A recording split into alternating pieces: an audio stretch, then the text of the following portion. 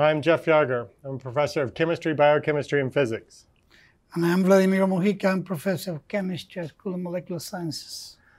So, Vladdy, making another video today looking at um, chapter five in uh, Physical Chemistry for Life Sciences, edition number two. And in this chapter, they're really going through uh, electrochemistry and, and its relation to biochemistry.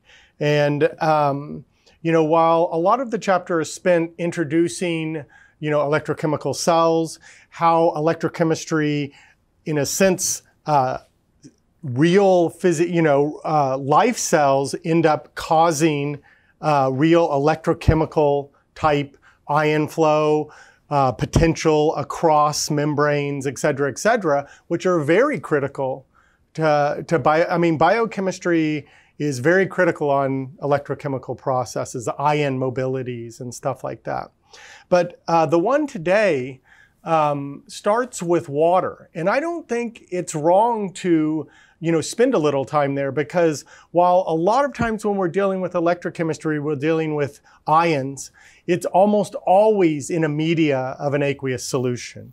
And almost everything that we start with starts with water itself having conduction, water itself having ions associated with it, etc. And that being the media to dissociate other ions and see their flow and behavior as well right? So uh, the question it asks is to describe the mechanism of proton conduction in water.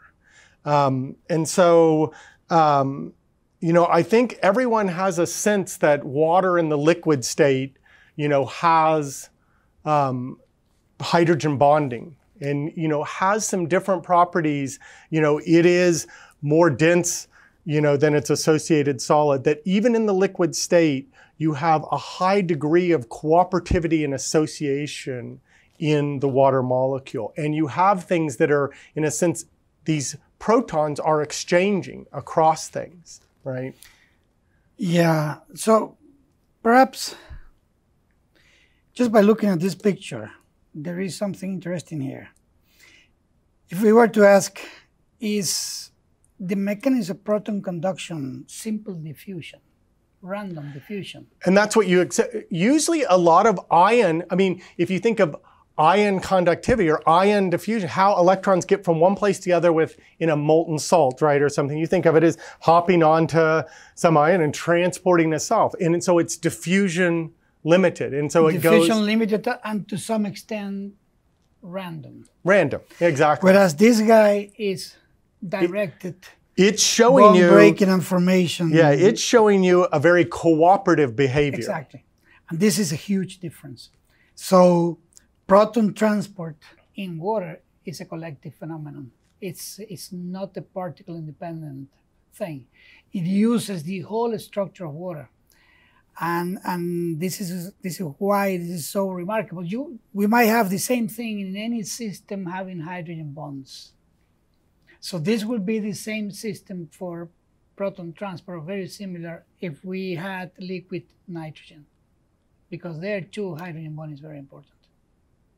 In liquid nitrogen. In uh, ammonia. Yeah, a liquid ammonia. There we go. Sorry, There's something that, that sorry, actually has a proton. Yeah. Sorry, sorry. No nitrogen, NH3. Yeah, yeah. yeah. yeah. Things where, or, or the way I like to think about it here is, you know, there's only certain times when uh, you know, when protons are attached to something, whatever X is, you know, certain times these X's, typically when it's an electronegative, it, it allows this proton to exchange or to have a low enough inner, that bond to easily break and reform, etc. Like you said, with things like nitrogen, oxygen being, of course, what we're uh, talking about here, etc., fluorine, um, etc., where you can have a lot of these dynamic you know, hydrogen type mobilities. While famously in something like carbon, you often don't get, right. you know, any uh, hopping of that. Any exchange is what I guess I would call it. Yeah. And it's also quite interesting that this type of chemical bond, this hydrogen bond, is extremely important in DNA because this is how a sugar base is connected to another one. Well, think of all three of what I think of as if somebody asks me biochemistry, the three classic biopolymers or, or you know, uh, components that form polymers that, that make up life. You think of carbohydrates, sugars, you think of amino acids, proteins, peptides, and you think of nucleic acids, right? Um, all of them have a hydrogen bonding, a major component of what makes them special is their hydrogen bonding capabilities, right? Yeah, and it's also that this hydrogen bond, you know, this is one situation because this is the lightest uh, nucleus, then uh, tunneling, which is a, it's a, it's a People, pure quantum phenomenon, it's also present there. And this is a lot of what is now a very vogue field of quantum biology. You see a lot of the heart of that being at these idea that you get proton, you know, or you get some type of tunneling behavior, whether it be electron, proton, something in biological, whether it be polymers or other type systems. Right. And what I wanted to, to insist is that tunneling is the process, the simplest description of tunneling.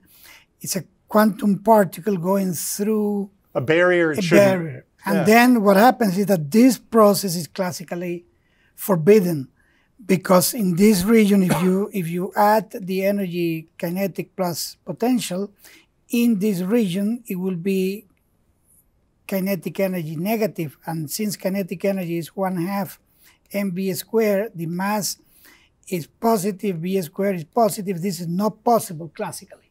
Right. Now, this process is extremely important when you have, as you said, hydrogen connected to two different nuclei and then this a proton can move one direction and also long range tunneling.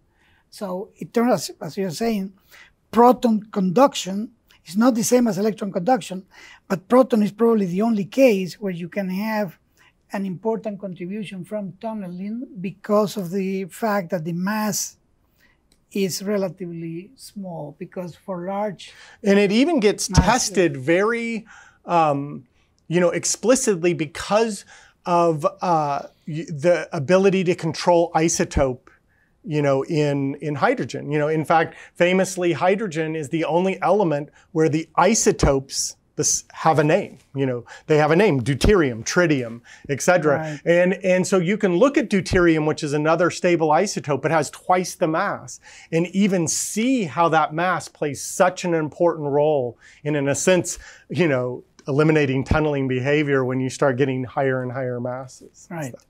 And, and the other thing is that this transport mechanism, it's very different from what would happen in, uh, you know, across the membrane of a cell, because then the material inside the cell is not necessarily water as such.